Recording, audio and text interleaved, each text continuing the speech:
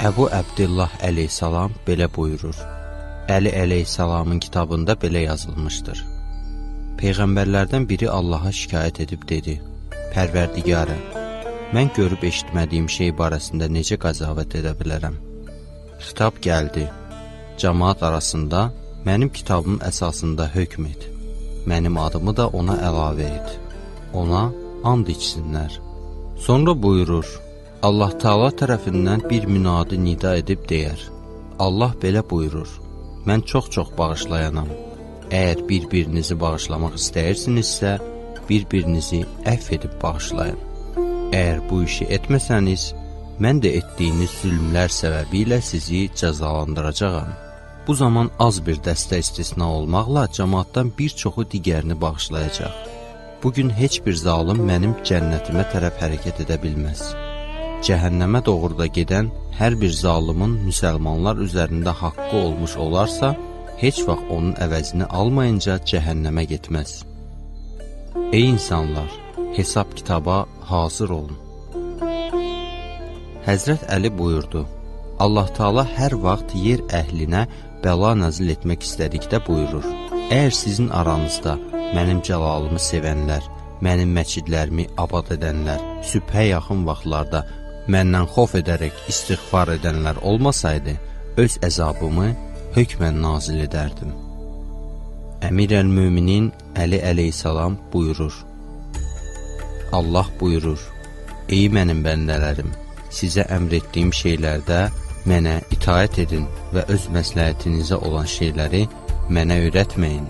Çünki mən sizin məsləhətinizi sizdən daha yaxşı bilirəm və heç vaxt sizin məsləhətinizə olan şeylərdə paxıllıq etmirəm. Əli İbn Hüseyn əleyhissalam buyurur, Allah Taala belə buyurur, mən görmək istədiyim heç bir işdə mömin bəndəmin ruhunu qəbz edərkən tərəddüddə olduğum qədər tərəddüddə olmuram. Çünki o ölümə nifrət edir. Mən isə ona pislik çatmasını istəmirəm. Onun heç bir təxirə yol verilməyən hətmi əcəli gəlib çatan zaman mən cənnətdən ona tərəf iki gül göndərirəm. Birinin adı Müsxiyə, digərinin adı isə Münsiyədir. Müsxiyə gülü onu mal-dövlətə qarşı rəğbətsiz edir. Münsiyə isə dünya işlərini unutdurur. Mən İmam Riza əleyhissalamdan soruşdum ki, bizim dostlardan bəziləri cəbrə, bəziləri isə qüdrətə inanırlar. Həzrət mənə buyurdu, yaz. Mən yazmağa başladım. Həzrət buyurdu, Bismillahirrəhmanirrəhim. Əli İbn Hüseyn əleyhissalamdan buyurur, Allah buyurmuşdur, Ey Adəm övladı, sən hər nəyi özün üçün istəyirsənsə, Yalnız mənim iradə və məşiyyətimlə istəyirsən, yalnız mənim əta etdiyim bir qüvvə vasitəsilə vacibatları yerinə yetirirsən, yalnız mənim neymətlərim vasitəsilə mənə qarşı üsyan etməyə qadir olursan, mən səni eşidən və görən yaratmışam. Sənin üçün gələn hər bir yaxşılıq və xeyir Allah tərəfindəndir. Sənə gələn hər bir pislik isə öz nəfsin tərəfindəndir. Buna görə də mən sənin yaxşı əməllərinə sənin özündən artıq layiqəm. Sən isə mənə qarşı pis əməllər etməkdə məndən artıq layiqsən. Heç bir kəsin mənim öz işlərim barədə soruşmağa haqqı yoxdur. Lakin bəndələrim öz əməlləri barəsində soruşacaqlar. Mən sənin istədiyin hər bir şeyi sənin üçün nizama salaram.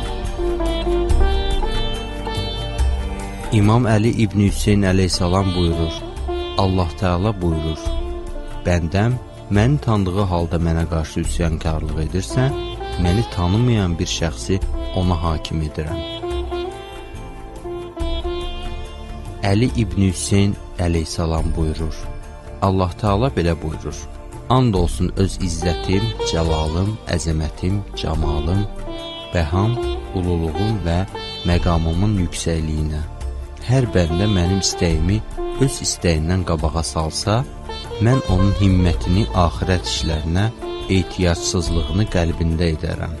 Bütün işlərində ona kifayət edərəm. Asimanı və yeri onun ruzisinə zamin edərəm. Dünyanı onun nəzərində etibarsız edərəm. İmam Səccad əleyhissalam buyurur, hər kəs tox halda yatsa, onun mömin qonşusu acından qıvrılıb açılsa, Allah öz mələklərinə buyurar, mən sizi bu bəndəmə şahid tuturam. Mən ona əmr etdim, o isə mənə qarşı məsiyyət etdi və məndən başqasına itayət etdi. Mən də onu öz əməllərinin ötəsinə buraxdım.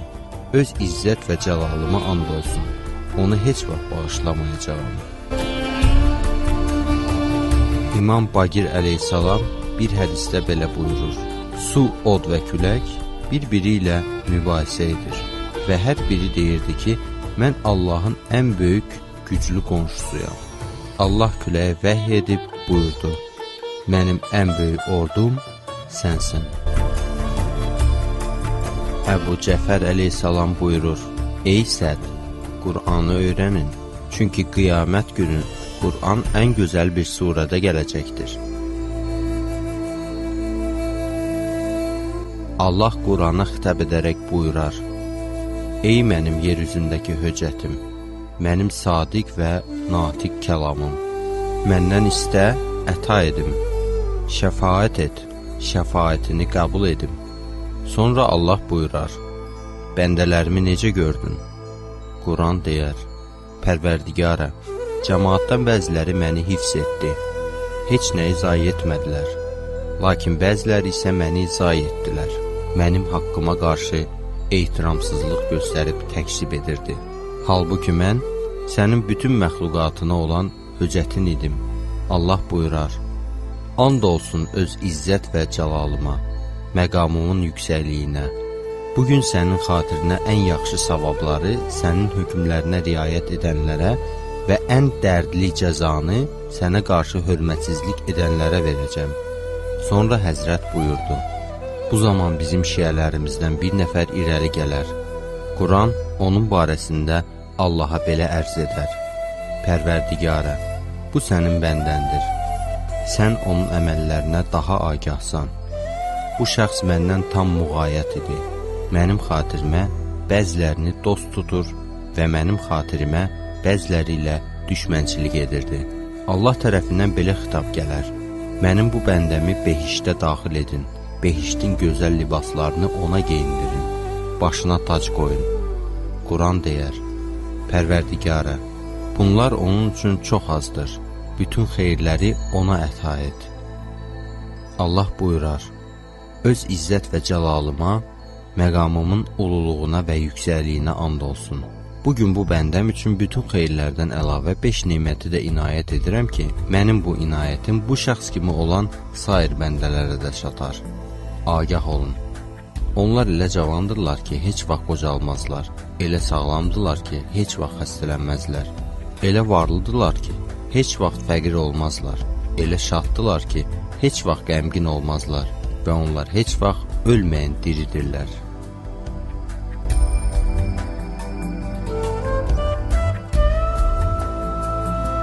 Həzrət Əbu Cəfər əleyhissalam buyurur, Allah Teala Cəbrailə belə vəhy etdi. Mən yeganə, rəhman və rəhimli Allaham. Məndən başqa heç bir məbud yoxdur. Mən Adəmlə Həvvaya şikayət etdikləri vaxt rəhm etdim. Sən yer üzünə enib onlar üçün bir xeymə apar. Onların behişdən ayrıldıqları üçün mənim tərəfimdən onlara təskinlik ver.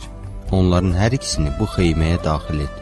Çünki mən onların ağlamaqlarına və vəhşi hissi keçirdiklərinə görə onlara rəhm etmişəm. Bu xeyməni Məkkə dağları arasında olan bağda qərar ver. Həzrət sonra buyurur, Allah sonra Cəbrailə vəhy edib buyurdu ki, Adəmlə Həvvanın xeyməsinin ətrafında yetişmiş min mələk qərar ver ki, onları üsyankar şeytanların şərindən qoruyub hifz etsinlər. Adəmin munisi olsunlar və xeymənin ətrafında təvav etsinlər ki, o ev və xeymə üçün təzim olsun. Sonra Cəbrailə belə vəhy etdi. Adəmlə Həvvaya tərəf get. Mənim evimin həddini, hüdudunu onlar üçün bəyan et. Mənim evimin divarlarını əvvəlcə mələklər üçün, sonra isə Adəm övladları üçün ucalt. Sonra Həzrət buyurur, Allah Cəbrailə belə göstəriş verdi. Bu evi tik, onun divarlarını Əbu Qubeys dağının daşlarından tamamla və onun üçün şərqə və qərbə açılan iki qapı qoysun. Həzrət Cəfər əleyhissalam buyurur: Kəbə müşriklərin nəfəslərinin təsirindən narahat olub Allah dərgahına şikayət etdi. Allah Kəbəyə buyurdu: Ey Kəbə, gözün aydın olsun, narahat olma.